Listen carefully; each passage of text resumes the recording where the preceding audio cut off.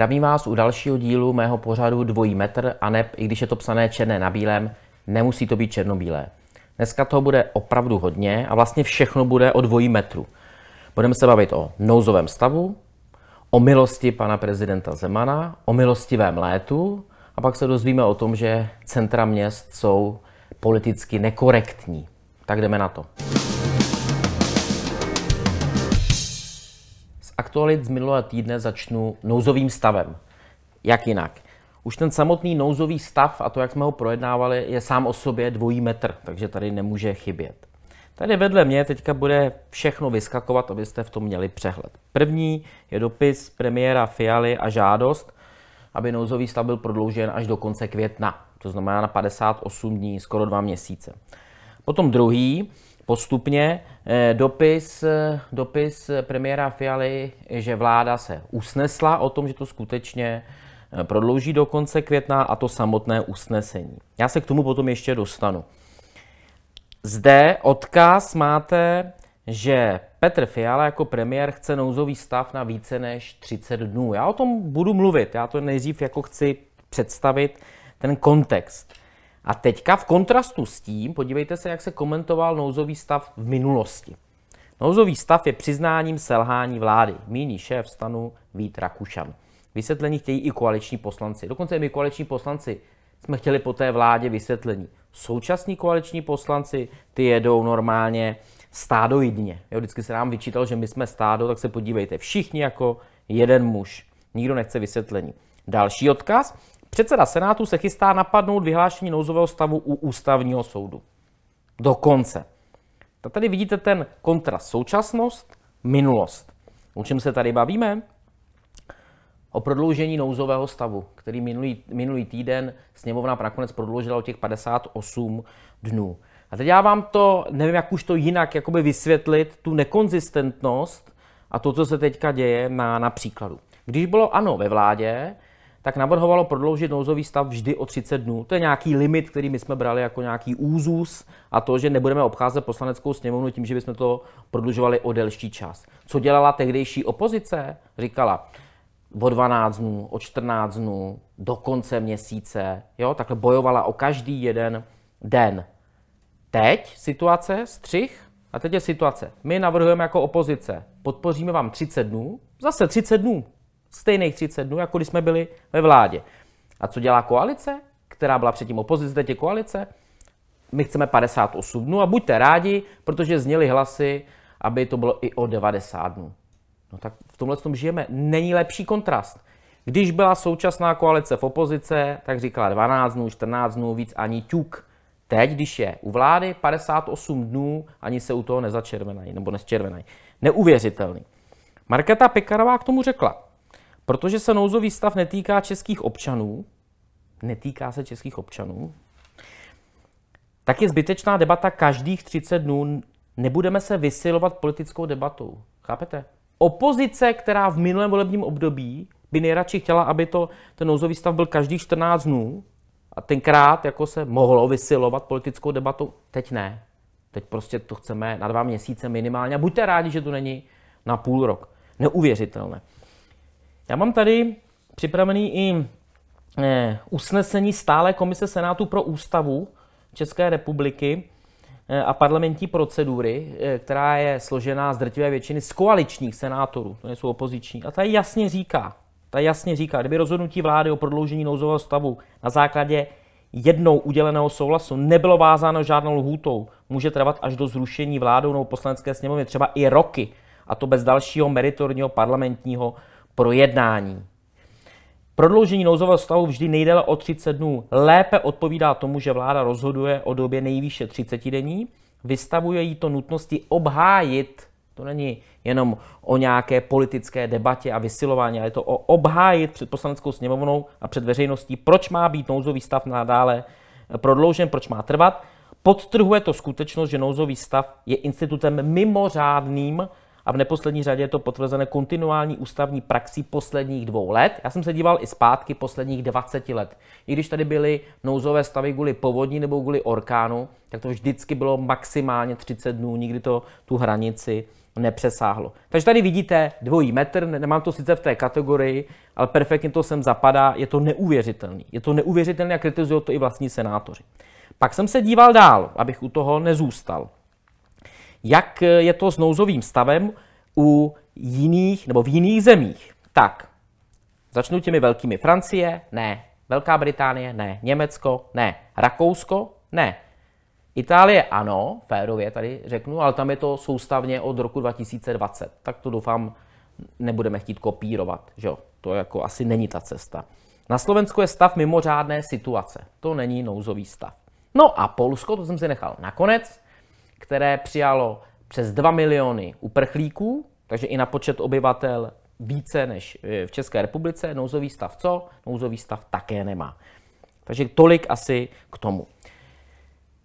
Argument, který zazněl, je, že ten nouzový stav se na dva měsíce přijal proto, aby, e, že ta situace víme, že za měsíce nezmění. No ale to jsme věděli i u covidu. To není argument. Prostě za těch 30 dnů ta vláda má přijít, říct nějaké další informace, znovu, znovu si říct o ten nouzový stav a třeba se změní některé parametry. Druhý argument zněl, i my jsme vám minule v tom prvním měsíci, eh, nebo po tom prvním měsíci, podporovali ty nouzové stavy a tu situaci, která byla nová. Stejně jako je nová teďka ta situace po válce. No tak já jsem nelenil a našel jsem si citace. Petr Fiala. Dnes je samozřejmě také stále třeba jednat rychle, ale je potřeba jednat i rozumně. Po měsíci, po měsíci je konečně čas, aby se ta překotnost začala vyvažovat jasným plánem, jak dál. A období této tolerance končí.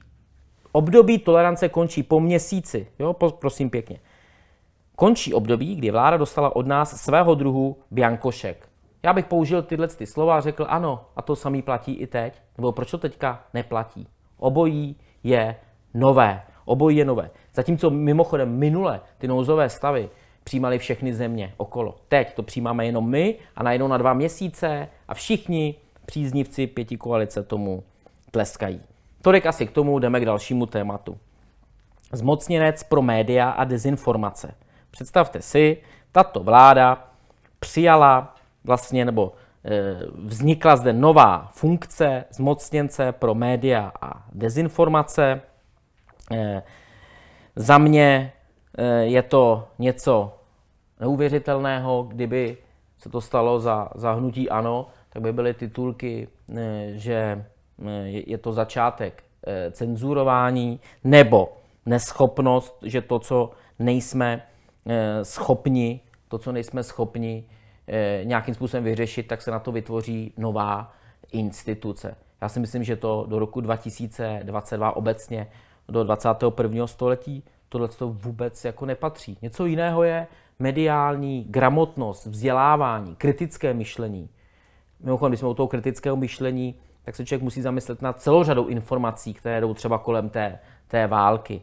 Ale zatím ten zmocněnec pro média a dezinformace, zatím to vypadá, že jak, jakkoliv je to jakýkoliv jiný eh, názor, eh, který není s mainstreamem, tak hned eh, si říká, neříkám, že ji vždycky dostane, ale říká si o nálepku, že jde o dezinformace. Ale já se k tomuhle tomu vrátím do detailu někdy příště, protože tohle já jen tak nenechám. Jo? Zmocněnec pro média dezinformace a ten tlak na, eh, na tu cenzuru, to, k tomu se tady musím vrátit. Poslední téma z aktualit, milost prezidenta Miloše Zemana. Musím říct, že s tím rozhodnutím Miloše Zemana o udělení milosti nesouhlasím, je to pro mě nepochopitelné eh, a eh, trochu to jakoby vrhá, eh, nebo trochu hodně to vrhá špatné světlo eh, na ten institut milosti. To na straně jedné. Na straně druhé, ale kvůli tomu měnit rozpočet kanceláře prezidenta republiky, mně přijde jako infantilní fakt jako nápad. Jo, typu, dělám něco, co by dělat neměl, tak mu seškrtáme rozpočet. Tak na tomhle místě bych se zeptal, jestli kolegové z poslanecké sněmovny, kteří to budou navrhovat, tak jestli třeba seškrtají eh, rozpočet pro Senát který tady tímhle tím usnesením vlastně byl proti tomu prodloužení eh, toho nouzového stavu o téměř dva měsíce. Jo, jako neříkají to, co my chceme slyšet, tak je taky seškrtáme. To mě přijde fakt jako mimo. Ale já jsem si dal tu práci a podíval jsem se, eh, jak se k tomu stavěli ty předchozí prezidenti a pomohli jste mi vy, musím říct, že ten pořad fakt jako funguje, protože vy jste mi poslali, dokonce dva lidi nezávisle na sobě, odkaz na 11 let starý článek, který popisoval, jak se k milostím stavěl eh, Václav Havel. A jakkoliv já nebudu a nechci omlouvat tu milost eh, Miloše Zemana, tak zároveň to chci dát do nějakého kontextu, do nějakých souvislostí. A tam je potřeba říct, že všichni tři polistopadoví prezidenti se k milosti, k amnestii stavili tak jako trochu podivně. A byly tam kontroverzní, kontroverzní věci. U Václava Havala to byly milosti na, eh, co si vzpomíná, Marta Chadimová, Martin Odložil nebo Radomír Šimůnek. U Václava Klauze to byla ta amnestie na konci jeho volebního období. No a ten článek, který jste mi poslali, tak tam přečtu citaci Václava Havla k milostím, aby jsme viděli ten kontext.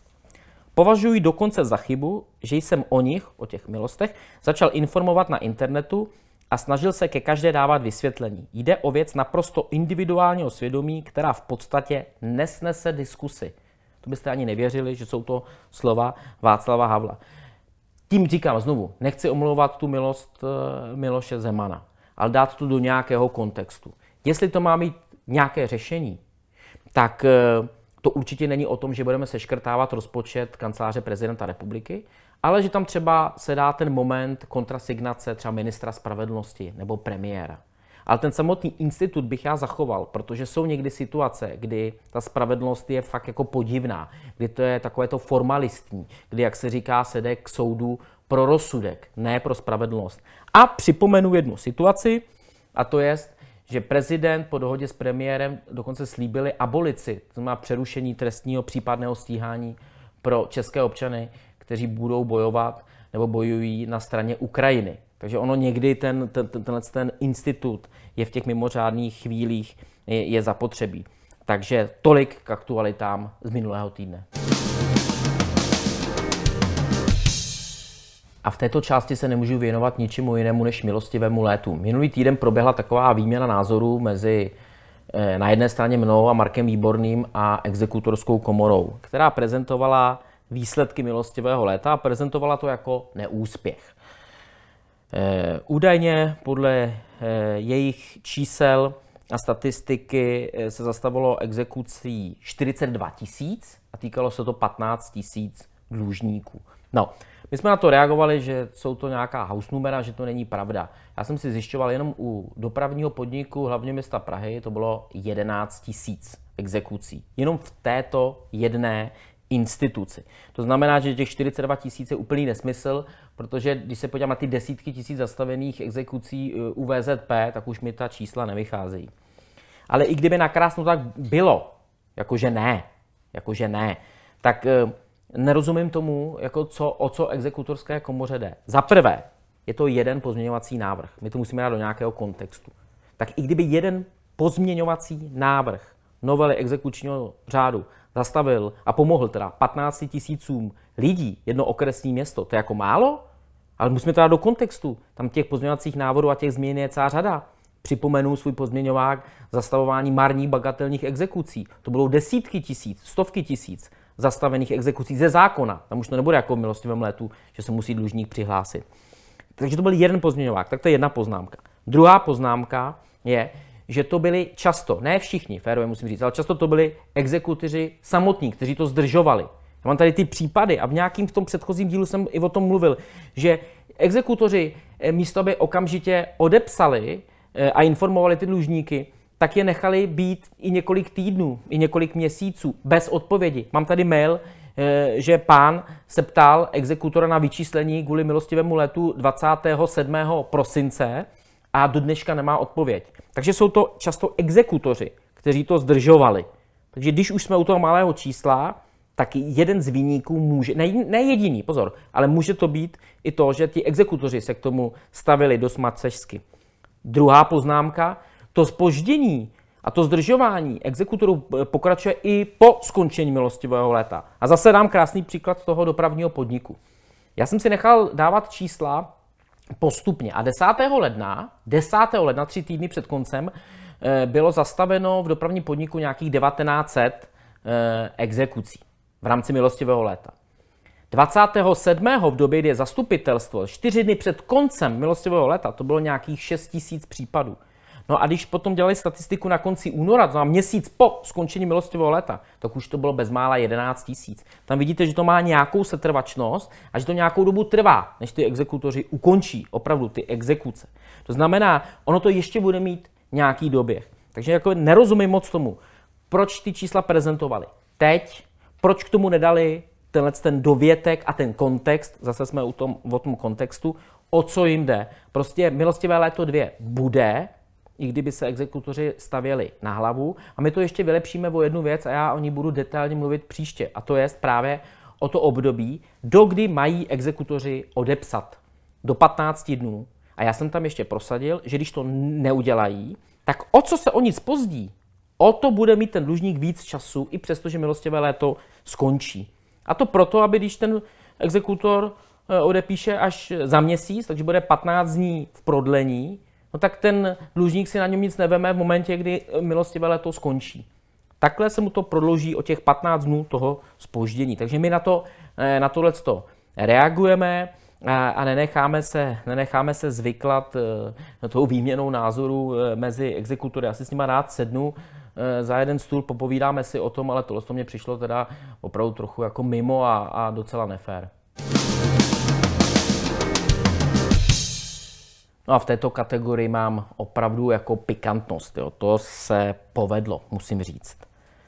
Města jsou navržená pro bílé a bohaté muže, řekla urbanistka Milota Sidorová. To mě fakt jako pobavilo. Takže já tady budu spíš citovat Eh, co všechno eh, paní Sidorová nebo slečná, nevím, eh, sdělila. Teprve před 100 lety byl ženám umožněn přístup na akademickou půdu technických oborů. Zároveň, pokud chceme něco postavit, nestačí stavbu pouze nakreslit, ale také schválit. Potřebujeme legislativu, politický souhlas na úrovni města, potažmo státu, stavební zákon, finance. Všechno to byly mužské domény. Jako, no, dobrý. Tato skupina měla většinou kvalitní vzdělání, byla movitá, bílá, měla jasnou orientaci. A pokud neměla, tak se o tom nemluvilo. To jako půjdeme teďka si sypat popel na hlavu sto let zpátky, že, jako, že jsme tady, že tady měli, jsme jako, jako přivízt nějaký migranty, jakoby, kteří, aby nebyli, jsme jenom bílí, nebo já, já to jakoby vůbec jako nerozumím, eh, nerozumím tomu, eh, ale pojďme, pojďme dál. Často se nyní hovoří o městě, které by mělo být pro lidi, nebo humanocentrickém městě, což podle urbanistky vypovídá o tom, že plánování dosud nefungovalo dobře. Jako problematické označila například suburbie, jinými slovy předměstí, periferie měst. Ježíš Maria, to je přece logický, že v centrech měst je to vždycky nejdražší a když na to nikdo nemá, tak samozřejmě se roztahuje a kupuje si ty nemovitosti na kraji a tím se jakoby to město i, i rozšiřuje. To, tak jako, to, to bylo jako vždycky. Eh, říká se tomu zelené vdovy, bylo to v Americe. Z analýz dopravy víme, že muži jezdí autem více než ženy. To je velký objev. To vzniklo i étosem suburbí, kdy ženy zůstávaly doma a muži dojížděli autem do práce. Všechno to v podstatě vytvářeli muži pro muže. Oni o tom ani možná nevěděli, neznali jiný model. Dnes na to doplácíme společensky, kde jsou ženy, kdy jsou ženy izolovány, tak ale i environmentálně, z hlediska jako životního prostředí. No, tak eh, já bych chtěl milé dámě říct jednu věc. A je to krásný kontrast vlastně s tím, co, co teďka žijeme. E, že mám ten pocit, nejsem urbanista, ona bojuje proti přirozenosti. Proti přirozenosti. To není nic proti ženám, pro Boha, pro Boha. Ale podívejte se, co se děje, když je teďka ta válka. K nám sem utíkají ženy s dětmi a muži jdou naopak tam. Kdyby jsme se na to dívali optikou eh, těchto těch lidí, tak jak to uděláme? To jako, že eh, s těmi dětmi tady vždycky zůstane půlka žen a půlka mužů a, a do, do té války půjde půlka žen, půlka mužů? Jak to chceme jako dělat? Ne. Prostě přirozeně ty ženy sem utíkají s dětmi, A naopak muži, kteří chtějí bojovat, tak jdou pomáhat Ukrajině. Úplně přirozeně. Bez kvót, bez nesmyslů. To znamená, a takhle se i nějak rozvíjela ta města. Ano, dneska jsou možná jiné požadavky, tak se to město, třeba i Praha, bude rozvíjet i jinak. To je možné. Ale jakoby pojmout to stylem města jsou navržená pro bílé a bohaté muže, mně přijde teda opravdu mimoň. Tentokrát jsem dostal tip od vás, od diváků, je to print screen z Facebooku TOP 09 z Nojmo, eh, které se chlubí, že mělo debatu s Markem Volnerem. Tady to vidíte vedle mě. Já to v rychlosti přečtu minulou středu. Jsme v jednom podniku pod taktovkou naší členky. Přivítali skvělého šefredaktora reportážní publicistiky ČT, pana Marka Volnera. Přišlo vás mnoho, židličky byly téměř všude, za to vám děkujeme. Debata se nesla v duchu specifik české politiky napříč úrovněmi a byla velmi příjemná. No, ono by to mohlo zapadnout, protože to v zásadě jakoby je o ničem, ale ten dvojí metr tam z toho prostě sálá, nezlobte se na mě. Umíte si představit, že by hnutí ANO eh, dělalo, eh, dělalo takové posezení s investigativním reportérem, novinářem České televize? Já si to představit neumím, protože kdyby se to stalo, tak si myslím, že by se spustil velký Bengal. Dovedu si představit debaty s šéf-redaktorem, s nějakým známým redaktorem, s nějakým publicistou, komentátorem jo, o, o, o Ukrajině třeba a tak dále. Ale takhle mně to, teda, mně to teda přijde, že třeba my bychom si to dovolit nemohli a to jsme teďka v opozici. Je potřeba připomenout i ten kontext, že TOP 09 je ve vládě a jak se říká, novináři jsou hlídací psy, takže hlídají ty, co vládnou. Tak uvidíme, jestli to bude mít vliv na investigativní reportáže v tomto pořadu, eh, který, který řídí Marek Volner. Tentokrát jsem si vybral dva komentáře eh, Honzy Paličky z Infa.cz, eh, který odhalil, a nebo to nějakým způsobem jenom komentuje, odhalil to někdo jiný, údajně, kdo stojí za eh, profilem twitterovým Peťuli Markvartové. Tak, tak ten první jeho tweet je, krize identity má různé formy, třeba tady pan Markvart se k šíření propagandy hnutí ANO vydává s ukradenou fotkou za slečnu Markvartovou. Problémy s tím, kdo vlastně je řešil už za minulého režimu, kdy ve svazcích spolupracovníků STB fungoval pod, tam jsou ty dvě čísla. A pak na to navazuje, milí vysoce postavení představitele ANO, včetně exministrů. Víte, čí profil ve skutečnosti lajkujete a sdílíte a kdo vám reálně na sockách tak vydatně podkuřuje? Dělá vám to dobře? No, to mi přijde úplně neskutečný.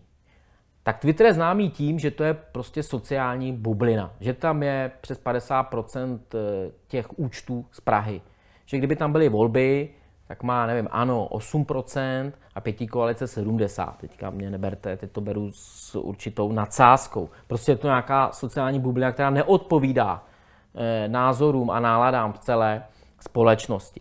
Všechny ty anonymní, falešní profily, profily vydávající se za někoho jiného, těch je tam spousta. Kolikrát se stalo, že moje třeba kolegyně Barbara Kořanová musela volat do redakce, která napsala, nějaký článek na základě toho, že ten falešný profil, který se za ní vydával, eh, tam něco napsal a ona musela říct, že to není ona. Jo? Tak, tak to všich, tohle ty všechny ty nejznámější profily, eh, mající desítky tisíc sledujících, tak jsou zaměřeny proti Anu ve prospěch pěti koalice. Ještě bych tomu rozuměl, když to bylo při té minulé vládě. Ano, je potřeba jakoby dávat zrcadlo vládě takže byly zaměřené proti vládě. Ale oni útočí na hnutí ano, i když je v opozici a vlastně glorifikují a hájí všechno, co dělá pěti koalice ve vládě. To znamená, jednoznačně jsou na straně pěti koalice proti hnutí ano. A tam je to v pořádku. Ale v momentě, kdy tam je nějaký profil, zřejmě falešný, já fakt nevím, e, já nemám často zkoumat, kdo, kdo je zatím, ani pokud je to proti ano, ani pokud je to pro ano, e, tak najednou, když je někdo pro, hnutí ano proti pěti koalici, tak to najednou vadí a začne se jako policejně jako vyšetřovat, kdo za tím stojí a kdo se za koho vydává. Tak proč se to neudělá teda ve všech těch případech? Tohle to mě, tohle to mě přijde úplně neuvěřitelný. Ještě k šíření propagandy hnutí ano. Tak se podívejte na ten Twitter. Podívejte se na ten Twitter, jak to tam funguje. V tom případě tímhle tím slovníkem všechno, co dělají ty falešné, anonymní, profily nebo profily se vydávající za někoho jiného, nejlépe za politika hnutí ano, s cílem ho zesměšnit, nebo falešný, falešný mluvčí prezidenta republiky, těch, těch profilů je tam celá řada, tak, tak ty v tom případě optikou, optikou Honzy Paličky v tom případě ty šíří propagandu pěti koalice. Jo, chápu to správně. No, protože jinak já tomu nerozumím. Eh, stejně tak eh, víte, čí profil lajkujete, jak se diví? No, upřímně, něco to líbí, tak to zalajknu. A já opravdu neskoumám, kdo je, za, kdo je zatím. To se na mě nezlobte. Právě proto, že vlastně proti, proti hnutí ano, je tam celá řada zejména těch falešných eh, profilů nebo anonymních eh, profilů. Eh, a mimochodem, a i ty jsou občas tipný, taky zalajkuju, taky a nesleduju, co je zatím. Takže mě to přijde fakt jako eh, pikantní zrovna v té Twitterové bublině vyčítat, že tam je jeden profil, který je teda pro ano, proti pěti koalice, tak budu hrozně detailně zkoumat, kdo je zatím. Eh, mě teda zaujalo, proto jsem to zařadil mezi zajímavé komentáře. Tím se s vámi pro tentokrát loučím. Eh, a i přesto, že to je psané černé na bílém, nemusí to být černobílé. Mějte se hezky, hodně zdraví a zase příští pondělí.